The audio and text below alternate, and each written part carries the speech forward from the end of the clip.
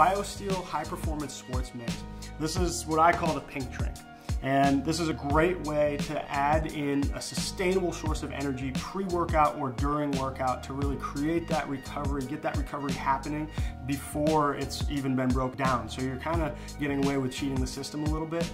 There's no caffeine, there's no sugar, it's natural flavor, so you're not gonna get the spikes and the crashes that other energy drinks or electrolyte drinks do bring to the table. With this, you're gonna try to get this before you work out or sip it during your workout.